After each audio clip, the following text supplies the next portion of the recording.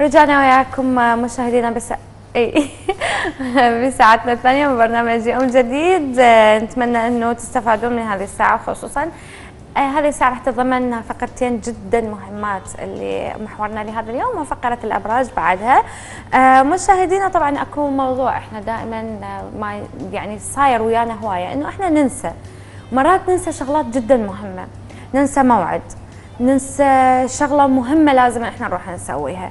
ونتذكر شغلات يعني كلش سطحية أو يعني مو ذات تأثير بيومنا. مرات نتذكر شغلات بعيدة صارت ويانا مثلا بطفولتنا وشغلات قبل أسبوع صارت ننساها بتفاصيلها. هذا السبب ليش؟ وليش ده يصير؟ وليش؟ وشنو المسؤول عنه؟ هل هو الشغلة عضوية بتركيبة الدماغ أم نفسية؟ آه تفاصيل هذا الموضوع. طبعا أرقامنا مفتوحة أمامكم اتصال مشاركتنا بهذا المحور. تفاصيل هذا الموضوع مع الدكتورة شيماء عبد العزيز اختصاص علم النفس يسعد صباحك دكتورة صباح الخير وصباح الخير على كل مشاهديكم أينما كانوا. أهلا دكتورة. الله يخليك. آه نسيان يعني أنا اليوم أتذكر شغلة صارت وياي وأنا عمري خمس سنين. أكيد. okay, okay. آه ممكن أنه شغلة صارت وياي قبل بهذا الأسبوع. اللي مضى يجي أحد يحكي لي إياها لا ما صار هيك شيء لا ماكو لا. شنو السبب اللي يخليني أتذكر قديم وما وأنسى قريب؟ أكيد هي الشغله شغلة النسيان أو عملية النسيان هي من عمليات العقلية.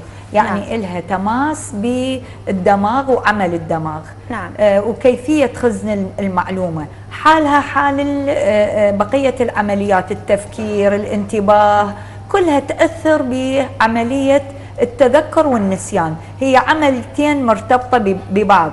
كيف أخزن المعلومة؟ وكيف إنه هي لها هاي المعلومة طبيعة الدماغ البشري يخزن الأشياء اللي ما يف ما عنده يفرق إنه هاي هاي معلومة هي مهمة أو غير مهمة. لكن ممكن أن اللي هي لها تماس بالمستقبل ممكن يخزنها للمدى البعيد يعني اللي لها تماس بالمستقبل. أحيانا ضخ المعلومات أحيانا تداخل المعلومات يمحي لك معلومات ويبقي على معلومات. أيضا التكرار يثبت المعلومة بحيث عندما تحاولين تستدعيها تستدعيها بسهولة لأن تكررت أكثر لأن لها تماس بحياتك لها لها علاقة ببقائك على على الحياة فتسترجعيها لها تماس أيضا بمشاعرك مثلا الحزن الفرح ال ال الكآبة اللي اللي الموقف كله له تماس إنه ممكن تستدعيه بسهولة طيب. آه هذه هذه الآلية العمل هاي ويا الكل تعمل بهذه الطريقة يعني أكو أشخاص مثلا تقولي له يعني أبسط شيء كطالب مثلا تقولي له أحفظ كرر كرر اللاين نفسه أكثر من مرة راح تحفظه نعم. تلقيه كرره قولي 20 مرة كتابة وقراءة وما أن يسد الكتاب ينسى الموضوع نعم. ينسى إنه هو كان يقرأ نعم. هل دائما التكرار ينفع ويساعد في عمليه التذكر آه نعم أكيد التكرار آه ينفع في عميه التذكر طيب مرات لكن ما يذكر. ليس كل البشر إنه آه عمل الدماغ يعمل بصورة سليمة واعتيادية أكيد أكو فروقات بين البشر أكو اللي يحفظ من مرة واحدة بس يسمع حفظ بدون أن م. أحيانا ما ما يحفظ إلا من خلال مرتين وثلاثة يقول لك أنا مو من مرة مرتين وثلاثة وأحيانا الشخص التركيز عنده ضعيف ما يركز.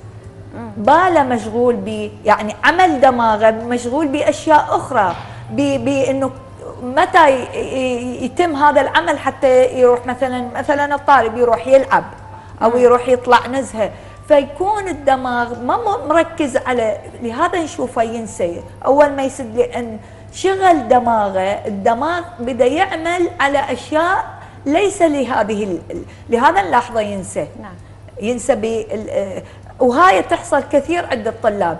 أيضا هناك قلق. الحالات النفسية تأثر على طريقة الخزن والاسترجاع للمعلومات أو للأحداث أو للأمور اللي تمر بينا. لهذا مثلا القلق القلق يصاحب الطلاب أحيانا. أغلب الطلاب باثناء الامتحان يصاحبهم قلق. يقول لك جاني كلش حافظ وكلش قاري ولكن أول ما دخلت الامتحان نسيت المادة. هنا عامل الانفعالات أو الانفعالات ومنها القلق المبالغ به قلق اللي صاحب الامتحان يعطل عمل الدماغ باسترجاع المادة. يقول لك أول ما طلعت من القاعة كلها تذكرتها كلها تذكرتها كلها رجع اذا اذا أكو عوامل تساعد على الاسترجاع السريع وأكو عوامل تعيق هاي العملية عملية التذكر. لهذا أنا أقول دائما التذكر والنسيان عمليتين مترابطة. نشبه عمل الكمبيوتر بعمل الدماغ إنه كيف تخزنين المعلومة تريديها للمدى البعيد تريديها بعد فترة تنمسح ما تريديها تثقل الحاسبه أيضا الدماغ أحيانا يثقل بالمعلومات. لازم نسوي له restart ها نعم. حتى نخز يعني نوخر المعلومات اللي نريدها نحتفظ بالمعلومات اللي نريدها و refresh و restart من جديد يعمل زين لهذا نسوي ريستارت للدماغ نعم لهذا إحنا آه الفرصة للطالب بين درس ودرس هي مو اعتباطية. خلوها. خاصة للدروس مثلا اللي يحتاج لها انتباه وحفظ وخزن للمدى البعيد. آه، آه، يطوه فرصة ما تقل عن عشر دقائق. ليش هاي العشر دقائق؟ للراحة الجسدية. نعم للدماغ ينطوه. حتى المعلومات اللي أخذها بهاي الفت... بهذا الدرس إنه الدماغ يبدي يبوبها وينظمها ويخزنها بالطريقة الصحيحة حتى لا تنمسح. لكن لما أني أطلع الطالب من مادة وادخله في مادة أخرى هاي اوريدي راح تنمسح هاي المادة، ليش؟ لأن دخلنا معلومات جديدة على معلومات سابقة ما انطينا الدماغ ياخذ فرصته بأن يرست المعلومات يفصل. ويفصلها ويبوبها ويحفظها. بالبداية تنحفظ بالذاكرة. أنا أقول لهم الأجزاء. يعني دماغنا هو عبارة عن أول شيء ذاكرة حسية مباوع الأشياء والمؤثرات اللي اللي تدخل دماغنا كل الأشياء تدخل دماغك. لاحظي من البيت إلى هنا هي كل اللي مريتي به هو دخل دماغ. عن طريق الحواس. عين سمع شم لمس هاي كلها آه، دخلت إلى إلى دماغك. وين بقت؟ بقت بالذاكرة القريبة. من توصلين مثلا تقول لهم تقول لهم والله لو, لو تشوفون شلون شفت مثلا إعلان آه، آه، مو طبيعي بقى بدماغك. لكن بعد فترة هذا ما يمس حياتك ولا راح للمستقبل إلى علاقة. شو يسوي الدماغ؟ يبقيه آه، خلال اليوم إذا ما احتاجيتي يبعده. لكن إذا يمس حياتك مثلا أنت تريدين طبيب ولاحظتي آه، عنوان طبيب أو آه، آه، قطعة طبيب فايش راح يسوي الدماغ؟ أنت أنت متلهبة لأن أنت هاي لها تماس بحياتك فايش راح يسوي؟ راح يخزنه وين يبعده؟ يبعده من الذاكرة القريبة اللي ممكن تنمسح يبعده للذاكرة البعيدة المدى. تبقى مخزونة. ممكن بعد أسبوع أنت تقولين والله مريت وهذا الطبيب تسترجعيه. ليش؟ لأن كان له تماس بحياتك فتذهبين إلى للطبيب.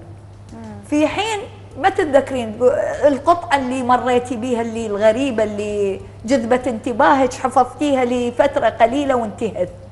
أو سمعتي موسيقى وانتهت. نعم. طيب. نعم. آه يعني مرة أنا سأل الطبيب إنه من شكت آه يبدي الإنسان بالتذكر؟ نعم. قال من عمر ثلاث شهور يبدي دماغه على الحفظ والتذكر وتكوين الذاكرة. نعم. تكوين الذاكرة تبدأ من ثلاث شهور. إحنا اللي هاي من النوادر. يعني حالات نادرة جدا إنه تكون مرضية إنه الإنسان يتذكر تفاصيل حياته المملة من من بداية تكوين الذاكرة لحد يعني آخر يوم بحياته. آه مرات تمر علينا مثلا اليوم أني اتصلت بدكتورة شيماء أخذت من عندها موعد عمل على مثلا باكر الساعة خمسة. وموعد عمل جدا مهم. يجي باكر تجي الساعة خمسة يروح باكر وتروح الساعة خمسة. أنا ناسية الموضوع. نعم. هذا موضوع مهم وله تماس بحياتي ليش نسيته؟ نعم. أكيد الضغوطات اللي آه، ضغوطات الحياة انشغال ال- الإنسان بتفكيره بأمور آه، أكثر من طاقة ال- طاقته النفسية والانفعالية وعمل الدماغ راح يعيق تذكر هذه المواعيد. لماذا؟ لأن هذه المواعيد أحيانا هي روتين عمل. إنه عملك يستدعي أن تتصلين بفلان وفلان لمثلا لل- للقاء أو لموضوع معين. فتنشغلين بأمور آنية. يعني ضغوطات حياتك الآنية. هي يبدي الدماغ يبدي عمله بهذه ال- ال- الأشياء. فيعيق تذكر الأشياء المهمة وتتذكرين الأشياء اللي هي ما إلها معنى أو ما إلها تماس بحياتك أو هي مخزونة منذ فترة بعيدة. وتنسين الأشياء المهمة. مثلا الموعد. لماذا؟ لأن أنت آه، محاطة بضغوطات دا تبعد دماغك أن يتذكر الأشياء اللي تحتاجيها الآن مثلا. نعم. أو أو بكرة. فتبدين يبدي دماغك يعطيك إيعازات بأشياء هي غير يعني تشغلين دماغك بالأشياء اللي آه، الآنية اللي تسبب ضغط على دماغك فيعيق استرجاع أو تذكر موعد مهم. طيب آه آه شو وقت النسيان يصير حالة مرضية؟ نعم. علينا أن نفرق بين النسيان كحالة طبيعية بسبب التكنولوجيا بسبب ضغوطات الحياة سرعة ال- ال- الحياة وازدحامها أو تزاحمها بالأحداث المحيطة بال- بالأفراد خاصة الأفراد اللي هم آه، أصحاب الأعمال يعني الأعمال اللي يحتاج لها فكر مثلا إنه ت- تقرين وتحفظين و- تفاصيل بها تفاصيل هواي. هواية أرقام، خصوصاً أر- اللي يتعاملون.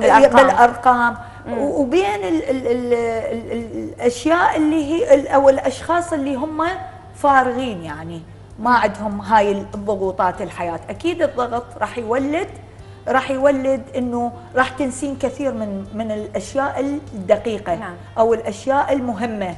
ليش؟ لأن ضغوطات حول هذا الإنسان. فيبدي ينسى. علينا أن نفرق بين حالتين. هل النسيان مالتي طبيعي؟ كثير من شلون؟ أنا اليوم مثلا أنا اليوم دكتورة انسى نعم. اني انسى تفاصيل هواي. وش وقت اني لازم ألاحظ نفسي إنه أنا نسياني مو طبيعي ونسياني احتمال مرضي. نعم. شلون ألاحظ نفسي؟ نعم. هاي كثير أو ألاحظ القريب مني. نعم كثير من ال- الناس هو يخلط بين ال- النسيان كحالة طبيعية بسبب الضغوط بسبب التكنولوجيا بسبب انشغاله انشغال فكر وبين ال- النسيان كمرض اللي نسميه زهايمر. الزهايمر. الزهايمر غير النسيان. يبدأ بالنسيان.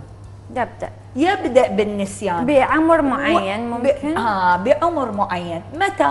بعمر الأربعين سنة يبدأ بنسيان. كيف النسيان؟ ينسى الأشياء مثلا تنسين آه، أسماء أبنائه. يبدي ينساها. يعني يبدي بهذه القوة؟ يبدي بهذه القوة. ينسى آه، آه، يبدأ ينسى يعني ينسى ابنه. مثلا اسم ابنه يبقى و- آه، يتذك يريد يتذكر الاسم يريد يسترجعه.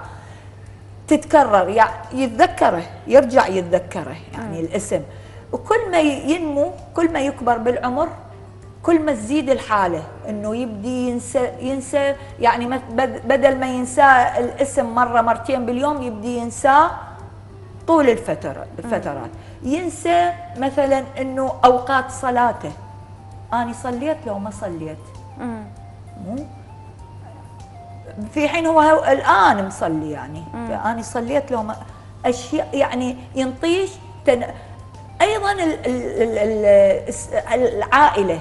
عندها مرض مرض النسيان مرض ال- الزهايمر. العائلة استعداد عائلي وراثي. استعداد وراثي. من الأمراض اللي تنقل عبر الجينات هو الزهايمر. يعني ال- العائلة اللي بي- بيها زهايمر ونسيان احتمال كبير تظهر بال... قد لا يظهر بالجيل الأول يظهر بالأجيال اللاحقة. ب- ب- بدليل إنه يقول لك اني لأن هو ما ملحق عليهم. نعم. يقول لك أني ما عندنا ما عندنا حد يعني ما عندنا حد ينسى ما عندنا حد بمرض زهايمر. لكن لو يرجع للعائله ممكن للجيل السابع اللي قبله إنه هو عنده هاي لهذا هو ه- الأمراض اللي من الأمراض اللي تنقل عبر الجينات هو. واحد منهم استعداده. نعم هو الزهايمر فعلاماته تبدأ بعمر مبكر يعني وينسى الأشياء اللي يعني لا يمكن أن ينساها. ينسون يخلي مثلا مكان الكوب هذا يحاول يخليه بغير مكان؟ نعم. آه إنه هو يعرف إنه هذا مكانه. مثلا بدل ما يخليه مثلا بالكاونتر يروح يخليه بالثلاجة مثل- أو هيك نعم- شيء. نعم. أو أو أثناء ال- المرأة أثناء ال- العمل أو الطبخ. بدل ما تخلي مثلا شكر تخلي ملح أو بدل ما تخلي طحين تخلي غير أشياء. يعني وكأنه شيء طبيعي عندها يعني. لأن ال- ال- الدماغ بدا بدأ يعطل جزء من من عمله أو أو جزء من خلاياه ودائما ما يتضرر الجزء الأيمن أكثر من الأيسر ولا هو- بصورة عامة؟ لا قبل كان ال- الجزء الأيمن والجزء الأيسر، الجزء الأيمن اللي على اللفظ ولا والجزء الأيسر على ال- الأرقام والها نعم. الآن العلماء يقول لك لا دماغنا صح هو بجزء أيمن وجزء أيسر، هو يشبهوه بكفين ال- الإيد، يقول لك لا هاي الجزئين تعمل بصورة متناغمة. مت يعني ال ال ال الأشياء اللي بال اللي تدخل للجزء الأيمن اراديا تنقل عن طريق غشاء بين الجزئين ينقلها إلى ال- ويكون عمل واحد. ما لا يمكن أن أفصل عمل الدماغ أيمن وأيسر. ب- بأمارة أنه لو جزء من الثانية صار خلل باستيعاب ال- المعلومة راح يسبب خلل بأص... بفهم المعلومة بصورة عامة يعني. نعم لهذا يقول لك عمل الدماغ جدا منظم. نعم. يعني الدماغ ما يحب يدخ- تدخلي له آه، معلومات كثيرة بآ- بوقت واحد. الدخلي هي بالترتيب. لهذا يقول لك أنت يا أما تتعلمين هاي خاصة للطلاب يا أما تبدي من السهل إلى الصعب. يعني مثلا المعلومة اللي ما تبدي الدرس مباشرة بالمعلومة. تربطه بالمعلومة السابقة اللي أخذها بالدرس السابق. يلا تدخل للمعلومة الجديدة. ليش؟ لأن حتى أنت شو تنشط تنشط آه، آه، آه، مكان التذكر نعم. لل... و- وراح يكون على أهبة الاستعداد لاستقبال المعلومة الجديدة. فربط المعلومة السابقة باللاحقة هيدا ينشط عملية التذكر ويمنع النسيان وبهذا نقول الت- التكرار مهم نعم. لخزن المعلومة واسترجاعها بأوقات لاحقة معناتها يا طلابنا إنه من تدرسون موادكم حاليا بفترة الامتحانات درسوا بطريقة سلسة عدلة مو إن أكو شغلة يسووها الطلاب مر- مرات. إنه مثلا أنا مليت اليوم من الرياضيات يلا خل أحول على الكيمياء لا هاي ما راح تخليك لا تتذكر الرياضيات ولا راح تخليك تتذكر. الكيمياء أبقى بالماده أخذ ريست من نفس المادة وأرجع لها نفسها. لا تتركها نهائيا. آه دكتور آه شيماء عبد العزيز شكرا لك وأتمنى لك ويكند سعيد. شكرا شكرا لك وشكرا لكل من شاهدنا الآن. شكرا. مشاهدينا طبعا